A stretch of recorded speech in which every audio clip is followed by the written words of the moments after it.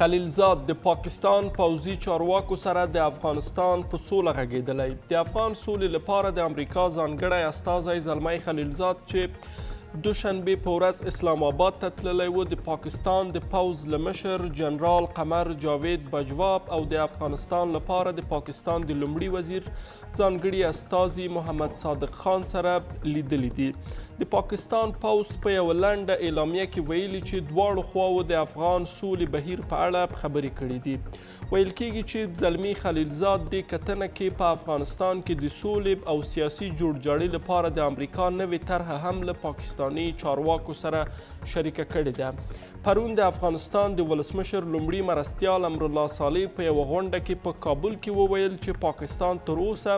هیڅ فشار پر طالبانو باندې نه ده راوړی څو هغوی د افغانستان له حکومت سره سوله وکړي ولسمشر محمد اشرف غني هم تر دې مخکې ویلي و چې پاکستان د خپل نا اعلام شوې جګړه د افغانستان سره ودروي سلام وخت مو په خیر زه رازقیار یم او تاسو د سپیناوي د خپرونې لیدونکي یاست د نن شپې د سپیناوي د بحث موضوع مو په همدغه موضوع ته ځانګړې سوې په استودیو کې را سره سیاسي کارپوب آصف احمدزوی حضور لري او په څو شېبو کې به هم سیاسي کارپو مطیب الله ابراهیمزی صاحب وصل سي او همدارنګه سیاسي کارپو عزیزالدین معارج له لندن څخه د سکایپ په لیکه وصل دی. ټول ستړي مسئ بحث ته په خیر راغلئ. بحث به احمدزوی صاحب له تاسو سره پیل کړم. په داسې حال کې تاسو وینئ چې د امریکا حکومت یوه نوې طرحه د افغانستان د سولې لپاره راوړې او د افغانستان حکومت تر یو ځایه پورې مقاومت ورښودلی دی دغې طرحې ته. په دغسې یو وضعیت کې خلیلزاد پاکستان ته ځي او هلته د جنرال قمر جاوید بجوا سره ګوري، فکر کوئ دا څه پیام لري؟ بسم الله الرحمن الرحیم جناب رازقیار صاحب سلامونه او نیک هیلې وړاندې کوم تاسو ته او د بحث قدرمنو ګډونوالو ته او د دې ترڅنګ خوږو لیدونکو ته معلومه خبر ده چې د افغانستان کوم څلوېښت کلن کړکېچ چې روان ده هغه د شوروي د حملې نه راپدیخوا راواخلو خالدزاد هغه څوک و چې د همدغې برخې مامور و خلیلزاد یوازې د اوسنۍ یا د دوحې د مذاکراتو په درشل کې چې له افغانستان سره د طالبانو ښکېلتیا ده او مذاکرات پیل شوي دي، د امریکا او د طالبانو ترمنځ اوسنی ماموریت نه لري. خلیلزاد په عامه اصطلاح ووایم چې هغه کونه پیښ مامور ده امریکا ده چې په همدغو مسایلو کې په جرګو کې جرګه مار ده او په اصطلاح مذاکراتو کې رول لري. له بده مرغه چې دلته ځینې ناخوالې هم لري. خلیلزاد له اشرف غني سره چندان روابط ښه نه لري، دا چې په کومو ستونزو به دوی سره وران وي، په هغه نه پوهېږم، خو د دوی روابط چندان ښه نه وو او خلیلزاد هغه څه وکوله چې د خپل شخصي عقدې په اساس باندې ملت سره هم جفا وکوله، ګر چې دا اوس ما مخکې ویلي امریکایې مامور ده، د امریکا د د منافعو، د امریکا د لاسته راوړنو، د امریکا د ګټو په خاطر باندې دا خپل ماموریت کوي. اوس دغه کومه طرحه چې دلته راوړل شوې ده، هغه کوم پیشنهاد چې ورکړ شوی ده د افغانستان حکومت او د دې ترڅنګ سیاسیونو ته، اول خو دلته له بده مرغه ووایم چې په افغانستان کې موږ لپاره د دې ترڅنګ چې د د شرم ځای هم ده او د دې ترڅنګ احمد حسین په طرحه حتما بحث کوو راځم د خلیلزاد ماموریت ته راځم دغه سفر په اړه که نظر وایي فکر کوئ څنګه ځي په دغسې یو شرایطو کې دا خو معلومداره خبر ده ما مخکې هم ویلي چې څلویښتو کلونو کې خلیلزاد د مجاهدینو په وخت کې هم هر چې هر وخت به پاکستان ته ته د پاکستان په ګټه د مجاهدینو سره به دوی هلته خبرې اترې درلودلې او د دې ترڅنګ د پخ د امریکا او د پاکستان په فرمایشونو باندې به د خپل ماموریت پر مخ به اوس خو ټولې نړۍ ته دا معلومه شوې ده چې د د افغانستان د سولې او د جنګ کلی د امریکا او د پاکستان په لاس کې ده تاسو ویلي خلیلزاد یو شخصي عقده لري دغه عقده څه ده دا ما مخکې ویل چې دا چې څه ستونزې سره لري په دې نه پوهېږم ولې دا چې انګېرنې کېږي تحلیل کېږي شننې کېږي چې یو څه د دغه اوسیني حکومت سره د ده مناسبات ښه نه دي راځم د پاکستان تګ ته چې د پاکستان ته څنګه تلای هغه کوم څه چې دوی غوښتله دا معلومداره خبر ده او هیڅ دنه انکار نشو کولای چې دغه کومه طرحه د افغانستان حکومت ته ورکړ شوې دا مخکې له مخکې د پاکستان په فرمایش به جوړه شوې وي د پاکستان په غوښتنه به جوړه شوي پاکستان به هغه خپلې ګټې پکې مسعونه لیدلې وروسته له غنه د افغانستان حکومت ته ورکړ شوې ده اوس د دې په خاطر باندې چې تاکید وشي او نور څه غواړي پاکستان په دې باندې راضي کې هغه کوم امتیاز او کریده چې لا پاکستان غواړي هغه ومنل شي ورغله پاکستان سره ناست او د پاکستان سره به خبرې اترې لري وروسته لغه چې بعدي کوم اقدام کوي دا معلومه خبر ده چې فشار به په افغان ملت وي، فشار به په افغان حکومت وي. ډېره زیاته مننه مارد صاحب. هغه څه چې د امریکا د بهرنیو چارو وزیر په یوه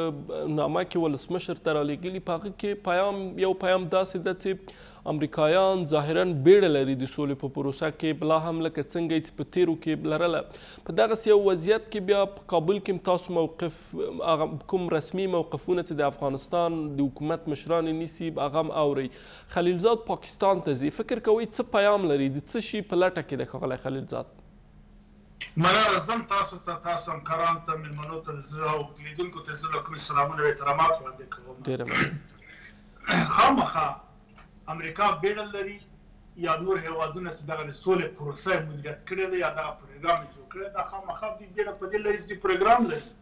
دوی خپله ستراتیژي لري، دوی د خپلې بهرنۍ ستراتیژي له مخې نه هغه پالیسي چې غوره کړي هغه مخې ته وړي، داسې په پالیسي د دوی کې دوی امتیاز ورکوي افغان حکومت ته، د افغان چارواکو ته، طالبانو ته، خو ټوله کې افغانانو ته، خو افغانان خو عام وګړي خو دې کې نه شاملېږي، دغه ټیکه داران چې دي او دا په دوی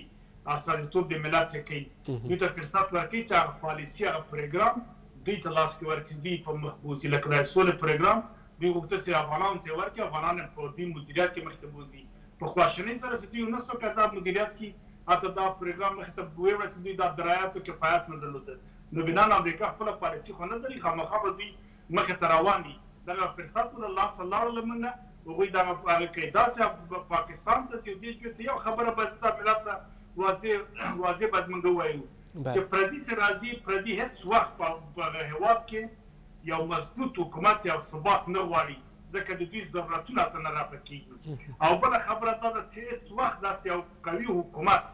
نه غواړي چې راشي ځکه دوی بیا ځکه دوی اهداف لري هغسې یو حکومت غواړي چې دوی اهداف پکې پلي شي هیڅ څوک چا ته په چا مین نه دي او نه ضرورت لري هر څوک چې راځي وایي خپل پالیسي خپل پروګرام خپل اهداف مخې ته وړي که دا پاکستان ده که بل ده بل ده داسې ډاکټر صاحب خلیلزاد د امریکا په هڅه څو منده دغه پروګرام مخ ته روان کړی ده مخ ته وړي پاکستان ته ځي ایران ته ځي مسکو ته ځي سیمه واده ته ځي دا د دوی برنامه او پروګرام ده مونږ افغانستان دولت افغانستان چارواکي که داسې فکر کوو چې مونږ امریکا ته ایران ته پاکستان ته سترګې نیولي دا د مونږ ستره او غټه اشتباه ده او ډیر د شرم ځای ده ځکه هغوی طرف دې قضیې دي. هغوی طرف د قضیې په دې مانا چې هغوی درته ګټې لري، هغوی په موږ باندې خاندي چې زه تا ته سوله او ثبات راولم، امنیت راولم، دا اوبه او دا چاتراش او دا ګټې او دغه توکې چې ته راځي غیر ستاندرد او دا ګټې چې د موږ د اوبو دي، د تیږو دي، د معدنو دي او د نورو مسلو دي،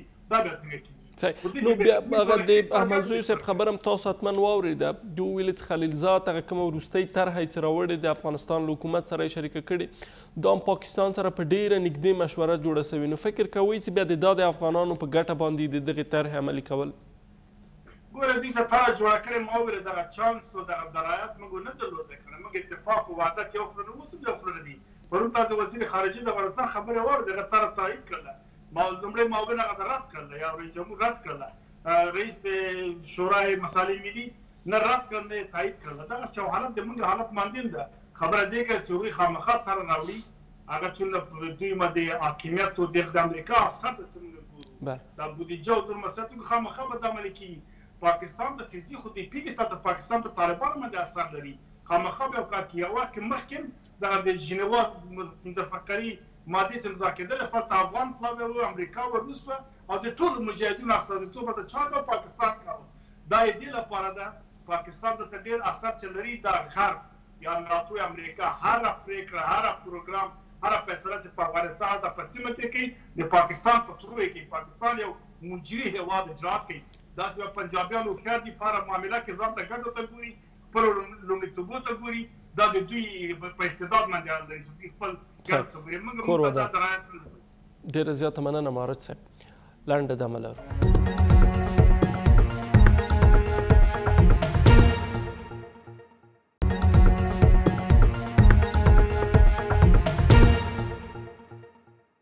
د خبرونې پاتې برخه احمدزوی صاحب ولسمشر نن هم په یوې غونډه کې ویلي و چې پاکستان د خپل نااعلام شوې جګړه د افغانستان په وړاندې باندې ودروي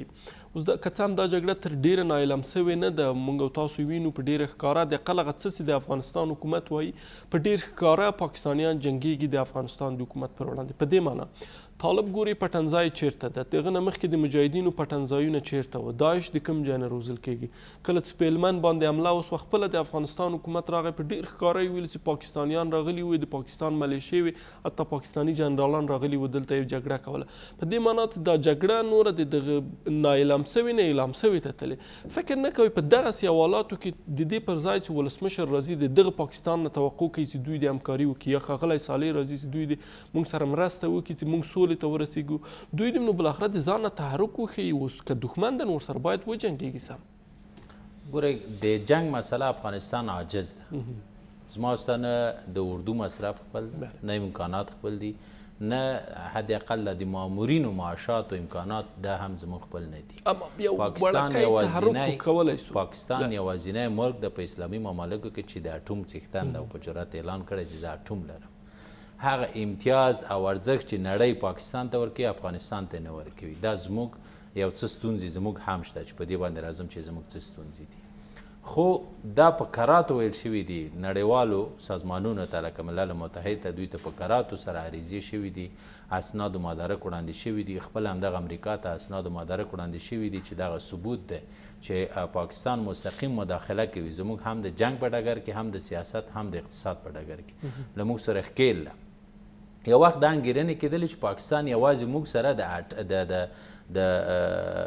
ډیوران په کرښې او د دې ترڅنګ په اوبو باندې ستونزې لري. اوس پاکستان د هغه مالکانو نه ځان احساسوي لکه هغه انتخاباتو کمپاین کې چې یو څوک چیرته ځي وایي چې دا کلی زما ده دا بل کلی هم زما ده او پاکستان په خپله لابي کې په خپل سیاست کې په خپله دیپلوماسۍ کې دا نړۍ ته قناعت ورکړی ده هغوی په دې راضي کړي دي چې افغانستان کې زه هر څه وغواړم کولای شم لکه څرنګه چې اوس هم ګوتې وهي کوي یې نور که داسې موږ له هغوی سره مستقیم جنګ وکړو جګړه وکړو زموږ دا امکانات نه لرو نه د نفوس له لحاظه نه د اقتصاد له لحاظه نه د نظامي له لحاظه نه خو جګړه ګوري د ډیپلوماسۍ په میدان کې جنګ روان ده د پاکستانیانو جګړه هم تاسو تر ډیره بریده پورې وینئ استخباراتي جګړه ده بیا په حد اقل که د سیاست په ډګر کې هم ده هغوی برلاسي دي ولسمشر مثلا یوه خې دا کوله چې پاکستان مې انزوا ته بولی بیا هم نتیجه ولیده چې بیخي برعکس وه په افغانستان انزوا ته تللی یعنی فکر نه کوي که په دغو برخو کې د افغانستان حکومت لږ څه توجه وکړي کیدای سي چې یو مثبت تصویر د اقل د افغانستان ولس ته ورکړي تاسو وګورئ 15 میلیارد ډالر یا 4.5 میلیارد ډالر چې د افغانستان اردو پولیس او امنیت ملي مصرفوي دا ډېری پیسې دي په دې ډېر څه کیدلای سي چې وي سي وي کې څه نه کوي متاسفانه ما مخکې هم ویلې موږ د مستقیم جنګ دا نه نړیوال قوانین موږ ته اجازه راکوي نه زموږ وضعیت اقتصاد او سیاست موږ ته اجازه راکوي ولې دا چې هغه سوړ جنګ کې په کراتو په نړیوالو ناستو کې په نړیوالو غونډو کې په نړیوالو سازمانونو کې آرایش شوي دي غږ اوچت شوی دی چې دوی موږ په ملک مداخله کې او دین امریکا هم سترګې نشي پټولی نه پټوي په دې باندې په صراحت سره پوهیږي چې دلته څوک مداخله کوي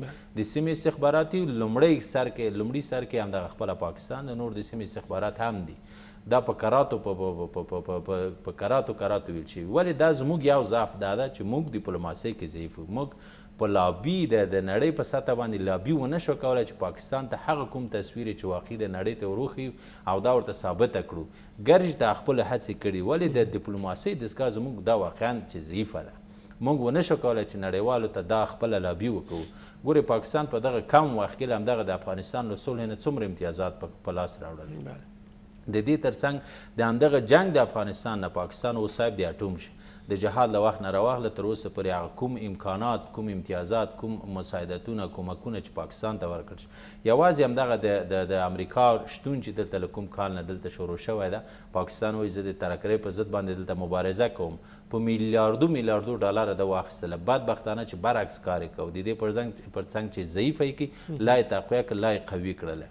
خو دا اوس زموږ په سیاسی چارو کی هم دوی ستونزی لری پاکستان داسی یو غواړی چه افغانستان دی د پښور په شانته یو صوبه یی دا هیڅ امکان نه لری نه نړی دا یو طرفه کوی او نه نړۍ زموږ تر څنګ درېږي. دغه بایډن چې اوس دلته رئیس جمهور ده، ده د د کرزي په وخت کې په کراتو ورته ویلي چې پنځوس برابره ستاسو نه پاکستان موږ ته مهم ده او زموږ لپاره ارزښت لري. بله، نو خو بیا دلته ښه لابي سوې، منظور همداسې ده، د پاکستان د طرف نه. د پاکستان د اوس په سیاست، ګورئ د موږ ستونزې همدا دي، د پاکستان رئیس کوم جنرال چې متقاعد کېږي، په کور کېني، د هغه لپاره بهترین امکانات ورکوي، هغه پالیسي ساز د ملک په سطح باندې جوړېږي. زموږ جنرال زموږ مشر زموږ هغه څوک چې له هغه نه کار اخیستل کیږي هغه چې تقاعد شي بیچاره یا کراچۍ درولي یا د سرکه په غاړه ولاړي نن تقاعد شي سبا چې څوک امتیاز نه ورکړي د عقدې په اساس باندې خپل حکومت پسې لیکنې کوي هغه کس چې ټول عمر یې د دې ملک په دفاع کې تیر کړی وي په اولو خطونو کې اوسیدلی وي د ملک اولادونه یې روزلي وي زموږ دا ضعف شته او دا باید ومنو چې زموږ دا ضعف ده موږ نشو کولای چې یو سالمه پالیسي او یو سالمه لابي د د نړۍ په سطح باندې وکولای شو د د خپل دښمن واقعي څېره د نړۍ ته ورښودلې او په دې باندې باید قانع کړي او اوس ګورې پاکستان وایي چې تاسې راځئ له هغه ځای نه له امریکا نه راځئ دلته جګړه کوئ هغه مصارف مه کوه زه یې کوم دلته که امنیت یې ساتې امنیت یې زه ساتم په پردي کور کې دا ادعا کوي او ورته ثابتوي. صحیح ډیره زیاته مننه مارد صاحب اوس تاسو د افغانستان د مشرانو موقفګیري هم وینئ د د وروستۍ طرحه چې د امریکایانو لخوا تنه سوي تر ډیره دوی لا هم په پاکستان باندې نیوکې کوي د سولې په پروسه کې چې دوی ګواکې سم همکاري نه کوي زه غواړم تاسو ووایئ دوی څونه د سولې پروسې سره مسولانه برخورد کړی منظور مې کاغلی ولسمشر ده یا د ده مرستیالان ګوره دغه یوه خبره دا چې دوی په پاکستان باندې یا په بل هیواد باندې سترګې نیسي دا د ام بهانه ده ام یو لار منحرف کول دي ام د ملت په سترګو باندې خاوره اچول دي ام د دوی دا بې کفایتي ښیي ځکه دوی خپله طرح نه لري پروګرام نه لري بل ته ګوري دوی همیشه په خبرو کې هم وایي که داسې ونه سه که فلاني سوله داسې ونه منله فلاني داسې ونه سه نه وایي که چیرې دغه د ما طرح یې ونه منله یا دغه دما دا وړاندیز څه ما جو کړی دا کړنګ ورباندی وکی کوی سی طالبان په نظام کی شریک سی مر لاره نه ښیی کړنګ لاره نه ښیی ملت ته نه واضح کړی راغلو د د تر په اړه باندې دغه تر چې امریکا راوړې ده ګوري دوی خبرون دا پرون ما د دې خبرې واورېدې په دغه د لوی جګې خرنه کې خبرې کولې دوی په جدي دي چې د سیاست او ډیپلوماسي هم د ایجابي سمبت که چیرې یو څو یو طرح راوړي یا غرض که یو شرع ته غواړې هغه چلنج کړې یا یې رد کړې ته ملت ته خپله طرح وړاندې کوې یعنې ښه یې خلکو ته وایې چې دغه طرح چې فلاني راوړې ده دغه انترپریټ کوې یا تفسیروې یا یو هغه ترې اخلې اقتباس ترې اخلې یا یې یو تشبیه ترې اخلې خلکو ته یې واضح کړې چې دا یې تاسو په ګټه نه ده دا تاسو ارزښتونه له لاسه ورکوي د تاسو عزت خرابوي د تاسو په تاوان ده مارم دغه طرح چې ما جوړه کړې ده په دغه اصولو په دې په دې ټول واضح کوي ارزښتونه پکې خوندي دي نو دا ښه ده قناعت خلکو ته ورکوي دا لکه دا دوکانداري غوندې سوداګري غوندې او دا چیغو منې کېږي چې والله که امضاء کړم او دا ملا ماته راځي او دا داسې کېږي دا خبرې ملت صحیح. مني ملت هلته څه خلک هم ناست دي پلویان بله یې دي ډیره بس زیاته دغه مننه ان شاء الله بیرته تاسو ته معارج صاحب درګرځو احمدزو صاحب د تاسو نظر څه ده د دې طرحې په وړاندې کوم غبرګون چې د افغانستان حکومت ښودلی فکر کوئ دا یو مسئولانه برخورد ده د حکومت مسئولانه بله د حکومت برخورد د دغې طرحې سره حکومت برخورد مسئولانه ده او باید مسئولانه وي څنګه مسولان الله ګوره موږ په افغانستان یو ملک ده دا صحیح ده چې فقیر یو دا صحیح ده چې د نورو کومکونو ته ناست دا صحیح ده چې نور موږ سره مرستې کوي ولې دومره موږ بیخي غلام نه یو بله اول یعنی فیصدي غلامان یو بیخي نه یو بیخي ما معنا دا چې یعنی موږ بیخي داسې هغه نه یو غلام نه یو که ته ما سره کومک کوې په اساس د یو هدف یې کوې خپل هدف دې په لاس راوړي زه خو داسې ګدایګر تا نه یم تشخیص کړی چې ته دا پیسې واخله د خدای په رضا باندې خو که پیسې راکوې که بودیجه راکوې دلته خپل اهداف تطبیق کوې د ما معادن دې وې وړه د ما ملک دې فساد مروج کړ خپل دښمن دې د ما له کوره ډاروې هغه خپل شوم اهداف چې لرې هغه دلته تطبیقوې داسې په امریکا زموږ له غمه نه ده مړ چې دلته راغلی موږ سره کومک کوي مساعدت کوي بل کوي د دې ترڅنګ چې کومک کوي په جنګ یې مچولي یو اوس رئیس جمهور اشرف غني مخکې د دې نه چې د رئیس جمهور خبرو ته راسو د څه شي په اساس وایي چې معدن ویوړه امریکایانو د کوم ځای معلومه خبر ده ویډیوګانې راوتلي اسناد راوتلي مدارک راوتلي کوم بیس ته څوک نه نوتلی شي دا خو بیس ته نه نوتل یو خبره دغه قراردادونه چې کیږي دغه پیسې چې دلته مصرف شوي دي دغه امکانات چې دوی دلته لري دا چا حساب کړي دي خو د افغانستان حکومت باید دا وضاحت ورکړي که معدن وړي دلته بیا بحث بیخي بل رقم ګورئ دغه اوس چې دغه معدن چې د بل چا په لاس کې دي دا قاچاق چې معدن وړل کیږي دا امریکایان وړي څوک دي دا امنیت څوک نیسي امریکایان معلومه خبر ده نو چې د ده پکې لاس نه وي د ده پکې رضایت نه وي څنګه ته یو ستن په ډرون باندې ویشتلی چې له معدن نه مخنیوی نه شي کولی که ته واقعا د افغانستان له غمه مړې ولې مخنیوی نه کوي ولې حکومت سره همکاري نه کوي؟ ولې دا حساب حکومت ورسره نه کوي؟ اوس دلته یو قرارداد لري، ګوري یو ستن تاسو وایي په ډرون یې ویشتلی سي، نو طالب خو ډېر ښکاره ګرځي په د افغانستان په ناامنه سیمو کې، تاسو که د کابل نه ووځئ بیا درښکاري چې طالبان سته که نه سته، ولې طالبان ولې نه ولي؟ خو ګورئ ما مخکې درته ویل چې دوی ژمن نه دي، دوی د افغانانو له غمه مړه نه دي، د کرزي د همدغه د اشرف غني د حکومت په پیل کې له دوی سره امنیتي تړون لاسلیک شه، دا اوس دومره حملات چې کیږی په افغانستان باندې کونړ چې ویشتل کیږی حد اقل دوی کوم ورځې یو اعلامیه یې ورنه کړله یعنې دا معلومه ده چې دوی هسې د کاغذ په خط باندې د کاغذ په مخ باندې یو شی لیکي خپلو ژمنو ته متعهد نه دي او نه ژمنتیا لري خو حکومت دې ترې پوښتنه وکړي دلته خو پوښتنه په کراتو شوې کله کله چې مثلا په کراتو شوې ګورې دا اوس خو حکومت دې ورته وایي چې ودی ودی وزي نور د افغانستان نو بیا دې دوه ګټه څه ده دوی کله چې د تا معدن وړي کله چې د هغه هغه څوک چې د معدن قاچاق کوي هغه بالاخره دوی امنیت افغانان وژني موږ په جنګ اچولي فساد را کوم راوج کړه دومره کونډې یتیمان هغه شوي دي زه به یو دم واخلم بیا دا وایي چې ولې تنه جدي پوښتنه نه کیږي ځکه دلته خو اوس نړیوال قوانین شته لنډه دا مننه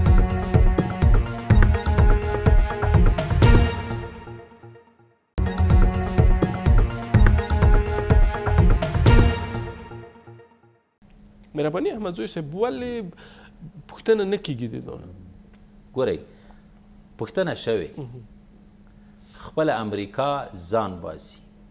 هڅوک چې وای هر کې نان دیات فرمان دیات څرنګه پوښتنه وشي په کرات ورته ویل شوي چې زما په ملک باندې حملې کیږي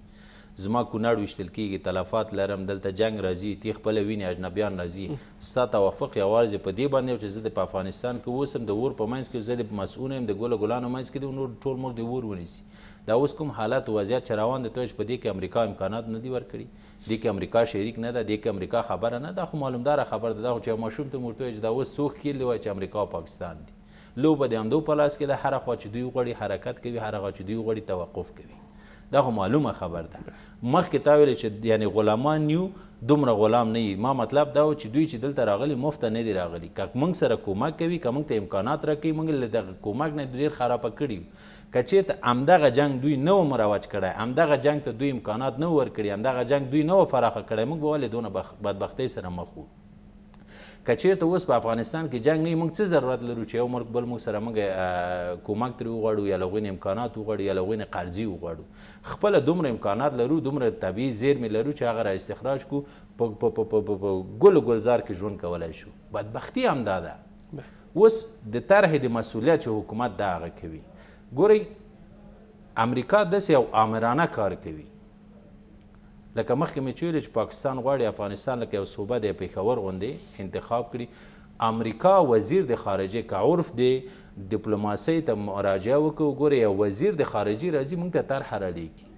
آلته د دوه افغانان سره کینولي میز دې پې خالي کړی ده په دې په هغې غولوي آلته موږ ته طرحې رالیږي بیا وایي چې درې څلورو ځایونه کې نور هغه کوي ښه د افغانان بیخي او په عامې سله ویم ده ده غه سترنج دانی دی نو چې تیار چیرته کدی دا خو دا خو امکان نه لري دا خو یو ملت ده کنه دا خو یو یو یو دولت ده حکومت ورته وایي چې راځه ما سره په مسؤلیت سره او په ضمانت سره کینه خبرې به سره وکړو توافق ته به ورسیږو یو وخت دا ادعا کېدله چې اشرف غني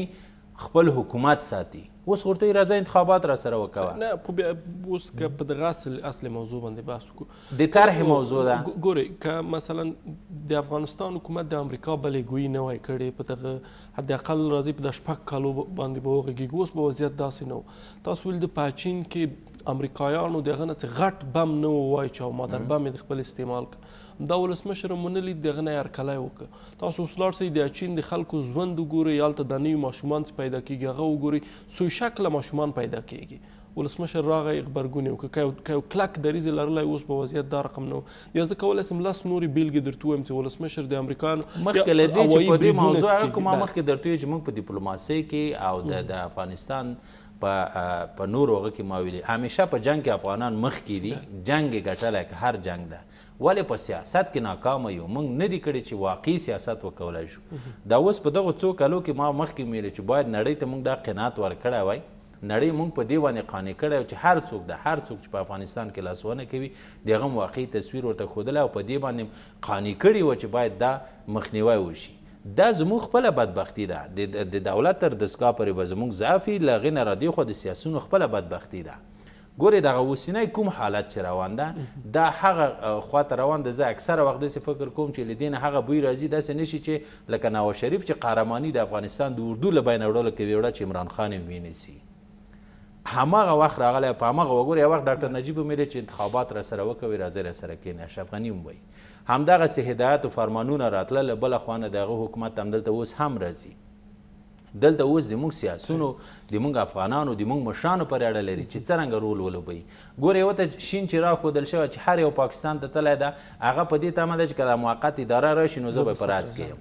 له بده مرغه زه مطمئن یم لکه ډاکټر نجیب ته چې همداسې زګنالونه راتله، همدغسې شفرونه ورته راتله چې که موږ راشو تاسو سره به کار نه وي، زه مطمئن یم چې دغسې حکومت که لکه څرنګه چې اوس روان ده داسې راشي، اکثریت چې دوی اوس ادعا کوي او په دې تمه توقع دي زه فکر کوم ادعو به سر پرې ووهل شي. اوس له عقل او منطق نه باید کار واخیستل شي ډیره مننه مارت صاحب تاسو څونه د احمد زوی صاحب خبرو سره موافق یاست دا چې دغه اوسنۍ طرح دا د افغانستان په ګټه نه ده هغه کومه طرح چې امریکایانو وړاندې کړي او دا حتی د دې ګواښ هم ستا ور سره چې د افغانستان اردو دی بیا واره بیا له منځه ویسي د دې ترڅنګ اوس احمد زوی صاحب یو ډیر ښه ټکی ته اشاره وکړه هغه دا چې واقعا د افغانان د شطرنج دانې نه دي چې څه امریکا وغواړي دلته باید هماغسې اوسي خو دا هم یو ملت ده اتلس نونس کاله راغلې دلته د خلک ووزل هوایي بریدونه دې وکړه د بمونو مور دې استعمال کړه څه دې چې د لاسه وسوه په دغه خلکو باندې دې وکړه حتی احمدزوی صاحب دا ادعا هم کوي چې معادن یې وویستل د افغانستان نه د دغه حکومت سره یې بالاخره کار کاوه اوس په یو وار سره ټول هر څه باید تغییر شي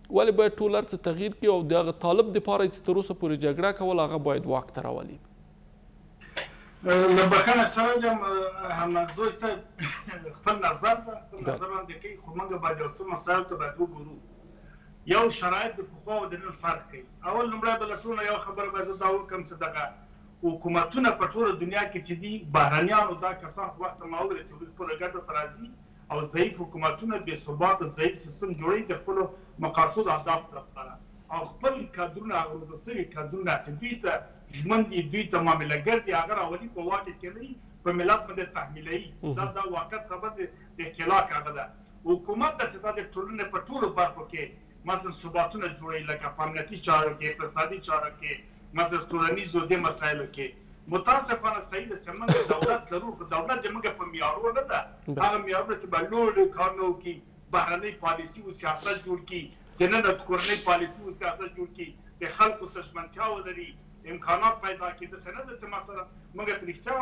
موږ همیشه باید ترحم ته وګورو، غلامي ته وګورو، مرستو ته وګورو.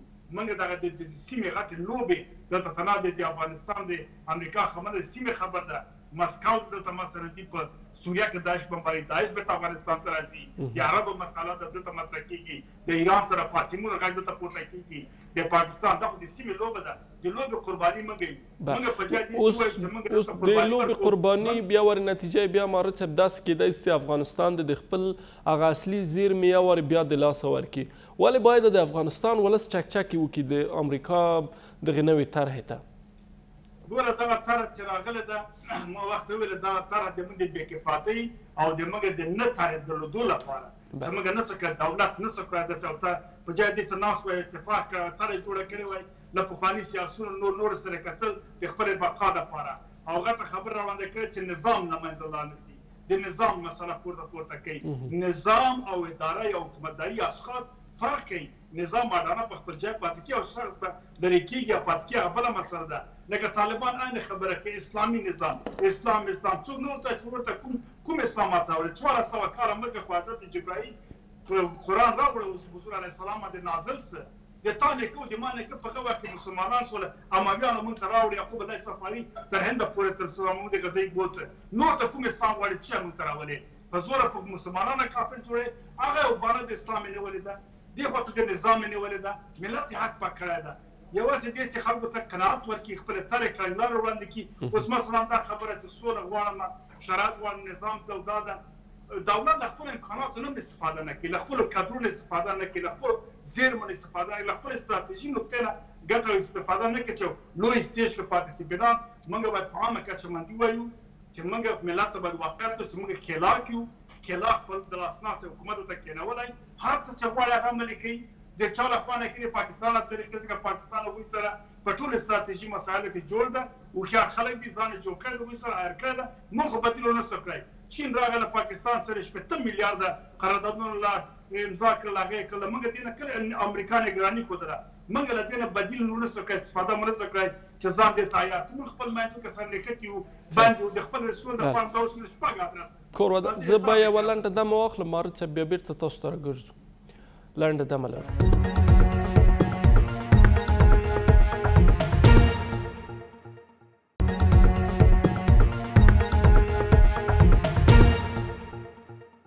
د خبرونې پاتې برخه مارت صاحب اوس ګورئ دا چې د افغانستان حکومت طرح نه لري دا مسایل به یوې خوا ته پریدو ولی اوس امریکایانو یو طرح راوړي او غواړي په افغانانو باندې ظاهرا تحمیل کی تاسو وینئ د ورځې نه چې د دغه طرح خبره راپورته سوي اکثریت سیاسیون او اکثریت د افغانستان عام وګړي او کارشناسانو دا ټول په یوه غږ بالاخره هرکلی کوي د دغې طرحې په هغه عامه اصطلاح چکچکې کوي ورته ولې باید د دغو نه د افغانستان خلک د امریکا هغه کومه موقفګیري چې لري د دوی د خبرو لاندې لاړ شي فکر کوئ ګټه یې څه ده د دغې طرحې مونږ ته په ګټه هم ده ولکه په نقص دلته ګورئ دغه سیاسیون به یو خوا ته کړو، دلته سیاسیون به سیاسیون است دا ما پخواني د جهادي ډلې ملې تپلي دي څه په موږ په زور راغلي څه اوس تور خله او غاصبین او دا کسان دي واقعیت سړی باید ووایي دا خو داسې پاک سیاسیون کله پریږدي دوی په هیواد ته راسي دا خو معامله ګر دا خو خلا کبیر ساتي ملت چې دا ملت هم وږی ده هم ملت مړ کیږي اوس پرون امرا صالح وایي چې دغه د طالب مرمۍ دې راځي زما په سینه دې ولګي جنابه ته د کانکریټي دیوالو سره د پټې ملت په غریب سینه باندې دا لګیږي ته خو قرباني نه ورکوې د سولې لپاره به ډر لاره جوړه کړې سولې ته خیر ته عام ګټو ته خلک هم قرباني ورکوي ملت ګوره دغه شرایط چې مني که د امریکا یې ولو که یهود هم راځي چې دوی ته امن سوله راوړي دوی ته ډوډۍ راوړي خېټې ورته مړه کړي خامخا به دا تره ومني یوه وخت ګوره همدغه طالب نه اوس خلک هېره کوي مر یوه وخت دغه د شر وه که فساد وه که وهل وه که جنګونه وه په سر مې خوهر و کړ شوی و، طالب صاحب ټولو ته فرشتې ویلې، مرکره صاحب کله چې اوس دغه حالت راغلی تمام ورځ چسپکي بمونه دي ولګه ده او تنده ده امنیت نشته اوس بیا خلک طالب ته وایي چې ته بیرته راشه که امریکا راځي او که بل راځي یعنې او تحول ده خلک همدې ته وږي ناست دي تږي ناست دي همدغه لپاره دوی خپل امن غواړي د ارګ بچه او د قطر بچه نه مړ کیږي دلته د غریب بچه مړ کیږي ګوره دغه دولت چې دا خبرې کوي دا تره تره اصلي خبره بل شی ده د پردې شاته دلته د مسکو سره خبره سوې ده د سیمې وادو سره سوې ده هسې زمین کابلو خبره واوریدله دلته یو ایتلافي مشترک حکومت راځي دغه غونډې جلسې او دا شیان هسې مسکو کېن کیږي په استانبول کېن کیږي ترکمنستان ناروې کېن دا فیصلې سوي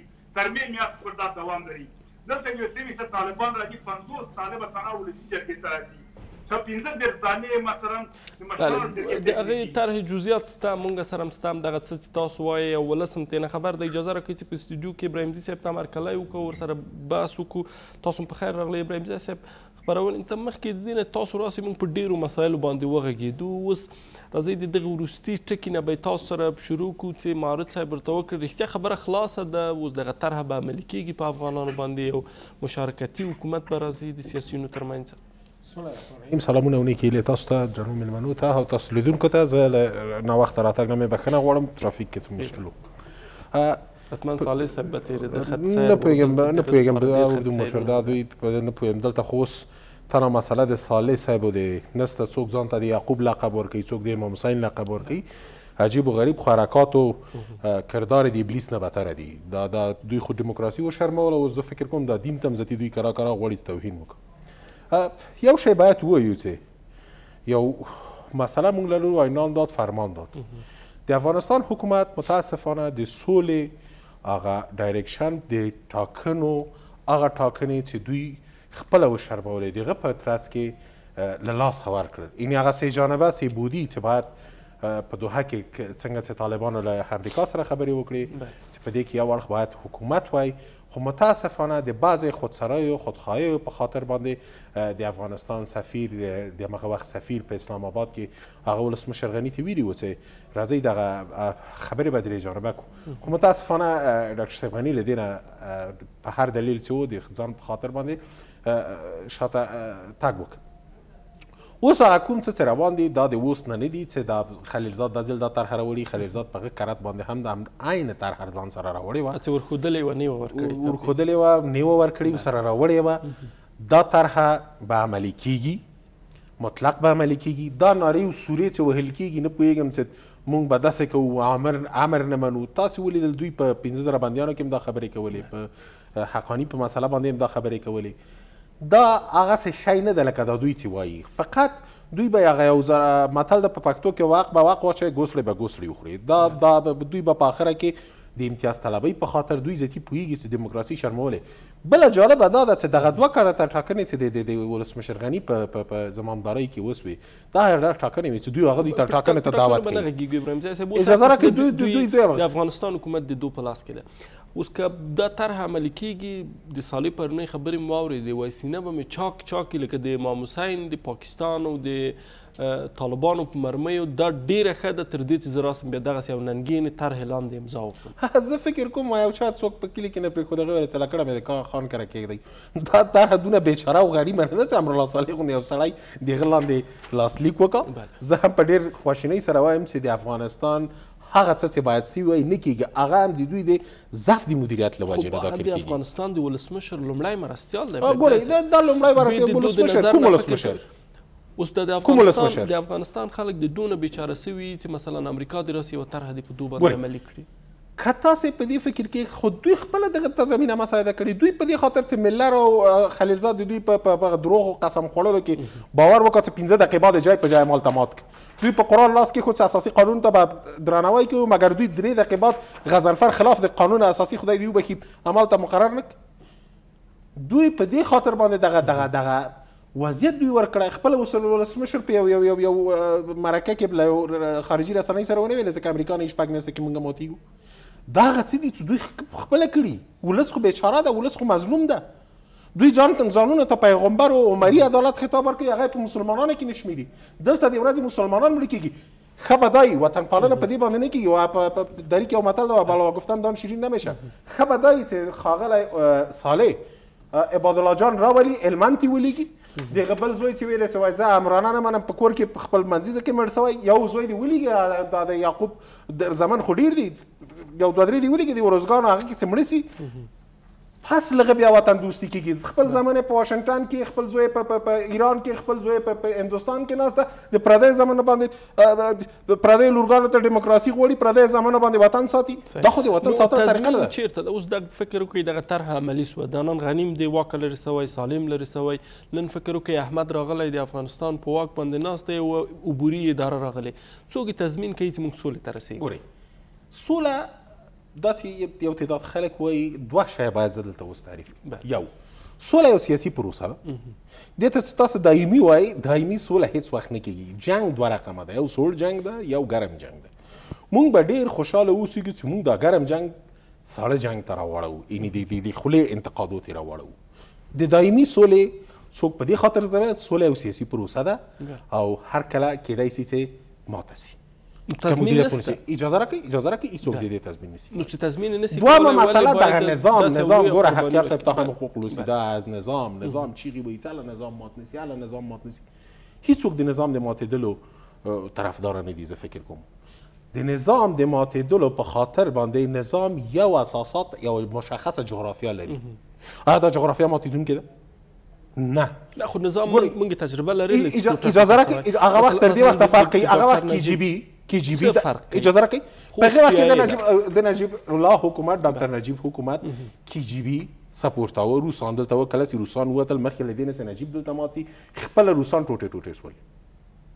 یعنی خپل پیش لدی سه دلته نجیب ټوټه ټوټه سی خپل اتحاد جماهیر شوروی ټوټه ټوټه سه سپورت نه و اوغو هم په دې خاطر چې خپل سیالان وننګوي امریکا نړۍ او قطبي سوه امریکا فکر وکړ چې ما خپل ستر سیال ته هغه د ویتنام قصد مې په افغانستان کې ته واخیست ما ته مې ورکړه زه راغلم دلته ذاتي افغانستان له یاده ووته کی جی بي دلته هسته ګزاري کړې وه د کی جی بي هسته ګزارۍ له وجې نه دلته جنګونه سول اوس هغه وضعیت وو که چیرې امریکا ټوټې ټوټې سي سیاهي ټوټې ټوټې شي لکه څه کې جیبي ټوټې ټوټې شي نو بیا هغه وخت دا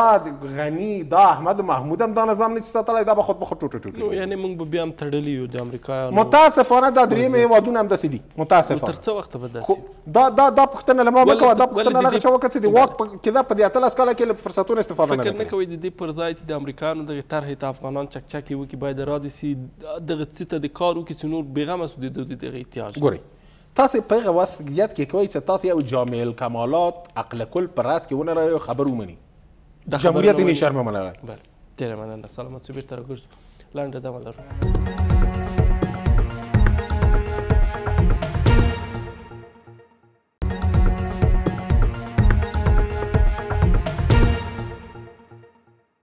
د خبرونې پاتې برخه احمد زوی صاحب اوس ولسمه یې نن داسې یو څه وایي لکه ابراهیمزي صاحب چې ویلي تاسو حکومتولۍ وینئ ښه حکومتولۍ وضعیت څه رقم ده ولسمشر بالاخره خلک مخاطبوي خلک ولسمشر مخاطبوي وایي امنیت نه سي راوستلی ښه حکومتولي نه سي بالاخره برابرولای کار ځوانانو ته نسې راوړلای خدمات دی وګوره څه رقم دی اجتماعي خدماتو دا سیاسي اجماع نسته جوړجاړی نه لري ټولو سره پارلمان سره ته په جنګ د خپل د اقل غ نږدې کسانو سره ته په جنګ حتی لکه ښاغلی عبد الله ټولو سره ته په جنګ او د بل خواته نه سولې تم بیا خند ولاړې راځي ټینګم ناست په څوکۍ څخه د دغه څوکۍ نه زه لري سوم افغانستان نسته په دې باندې مخکې بحث وکړو موږ تاسو چې متاسفانه افغانانو هر جنگ ګټلای دا چې کوم طرف قرباني ورکړي دواړه افغانان دي وژل شوي دي له نورو سره هر چا سره جنگېدلي جنگ کې ډېر تکړه دي سیاست کې واقعا موږ پاتې راغلي یو ناکامه یو ضعیفه یو مخکې په همدې باندې موږ او تاسو بحث وکړو چې موږ ونه شو کولای چې د افغانستان د سیاسي دستګاه وکولای شي لابي وکوي نړۍ ته خپل دښمن وکړي دا خبره ډیره تکرار شو نه وای کوم د سیاست ډیر تعریفونه دي یو تعریف دا ده چې قدرت په لاس راوړل ساتل او د دې ترڅنګ دغه پراختیا او انکشاف ورکول قدرت په لاس راغی یا نیمه یا ټوله یا ټول ملت یا نیم ملت یا په هر شي باندې چې راغی قدرت یې ونیوه تر یو حده پورې وم نیوه دا اوس چې تلفات ورکوي که دې خوا ده که هغې خوا د افغانانو پکې وژل کېږي خو د هغه نظام یې تر یو حده ساتلی ده بدبختانه چې انکشاف کې موږ ونه شوه کولی چې دې ته توسعه ورکړو توسعه مو ور نه شوه کړای لکه څرنګه چې تاسو دا مخکې دغه کومې پوښتنې وکولې په همدې کې ټول درته ځوابوم چې درېیمه برخه د قدرت د لاسته راوړنو موږ بد بختانه چې ضعیفه وه ومو نه شوه کولای چې موږ دې ته انکشاف ورکو اوس لکه څرنګه چې مخکې ویل شوه دا هماغه د تیرو کلونو دوره ده ما مخکې ویلي ډاکټر نجیب هم ویلي انتخابات کوو همدغسې هدایت او فرمانونه هم ورکول کېدله دا اوس ټوله خبر تړلې موږ افغانانو پورې ده چې موږ څه کوو ګورې پرون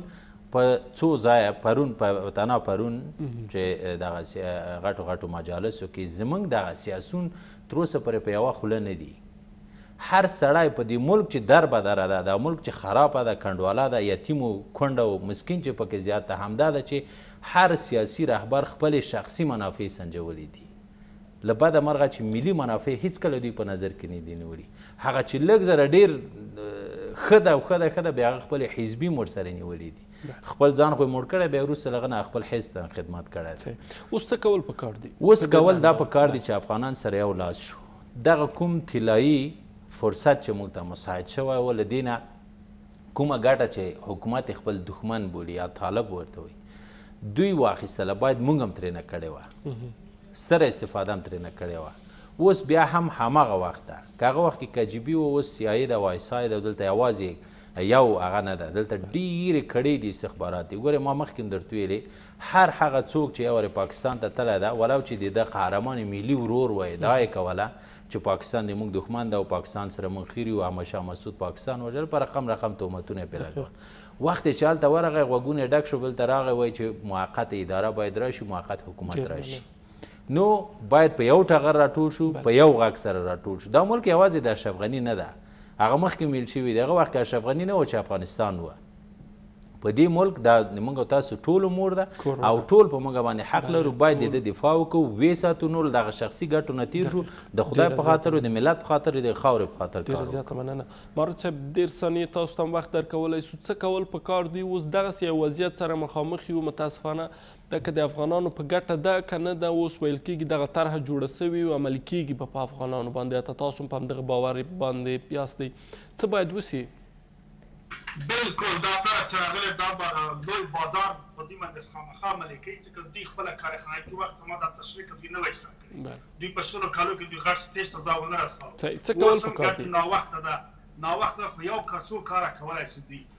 یو خبره دا ده په جای دی چه دا منډی وهی اخوا دیخوا ته او دا بازاری خبری کوی او طرح نه وړاندی کوی او خلکو ته قناعت نه ورکوی بهتره دا ده دوی مخکی له وخته ټاکنی را وغواړی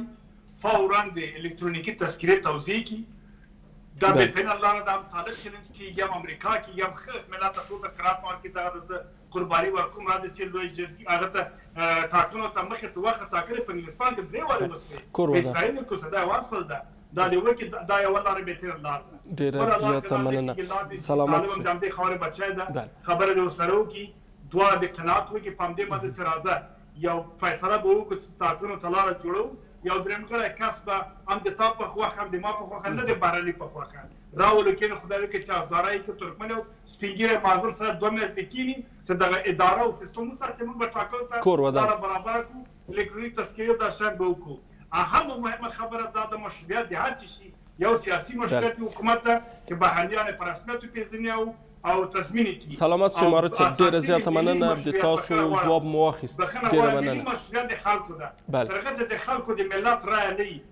د ملت اراده په کې نه وي چې هر ډول حکومت هغه د افغانستان او د ملت په ضد ده حتی دغه بن کې چې نواقص خو زیات ول چې بې کفایته خلک کېناستل یا هر څه چې کور ودان بس بل خو ته زی مارت صاحب سلامت شي ډیر زیاته مننه خو هغه سید چې مشروعیت د ملت په لاس کې ده په ابراهیم جان صاحب طالبان اصلا لا څه په ټاکنو باندې باور نه لري د تاسو په نظر څه باید وسی لاره د حل څه ده ګوري زه فکر کوم چې دغه کتا صدا طرح ګرڅه ما درته ویل دا ډیره مخکې راغلي که تاسو وګورئ اوس اخر د دې د حکومت په خوا هغه اول ځل فقط توپیر دا ده چې په اول ځل چې راغلی درې کلنه وه دا مسله اوس اتلس میاشتو تر شلو میاشتو ته رسېدلې او بل ښه والی دا ده چې هغه جزئیات چې تر هغه حده پورې چې زه خبر یم په دې دي څوک د واک رسته کیږي هغه به په ټاکنو کې کاندید نه وي دا په دې معنی دا په دې معنی چې ټاکنې منل سوي په دې طرحه کې خو طالبانو له څه پورې رسمي دریځ نه ده معلوم تاسو رازقیا صاحب داسې یو تاسو من حیث یو ژورنالیست دغه پوښتنه چې کوي د دغه سه ډیالوګ څخه صالح غږی نو طالب وایي چې ما دا خبر منل خو هغه هم مجبور دي چې کاش ما کاش وکړ ګوري طالب ټاکنې مني ګوري طالب اوس ټاکنو ته راغلی فقط تفاوت په دې کې دی هیڅ هیڅ نه وایي پرته د دې نه چې اجازه راکړئ اجازه راکړئ جانب مقابل ډیالوګ چي ده د جانب مقابل ډیالوګ دا ده جانب مقابل وایي ما امام حسین استم کتیت میزنم آبل وای ما یعقوب نبی استم کتیت میزنم حالان سیاو ملافظل دوی که غرب غرز گلولی و طالب ته تسلیم سی بری طالب ته تسلیم دل دا په دې معنا نه ده دا په دې معنا نه ده